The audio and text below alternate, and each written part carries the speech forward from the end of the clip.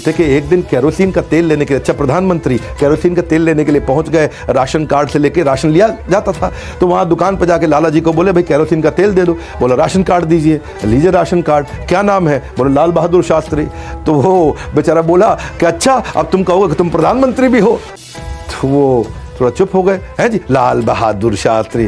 बोला हाँ मैं प्रधानमंत्री हूँ। तो हंसने लग गए। ए छोटू प्रधानमंत्री इतना हंसने लग गए ज़ोर ज़ोर से। ए, अब वो जो है बनिया बेचारा केरोसिन का तेल देने की जगह मज़ाक उड़ा रहा था। बहरहाल जब कनस्तर के अंदर तेल डाला तो पीछे से सिक्योरिटी भागती हुई आई और तेल का ड्रम उठाया। तब उसको समझ में आ रही इतनी सिक्योरिटी भागती हुई आई इनकी।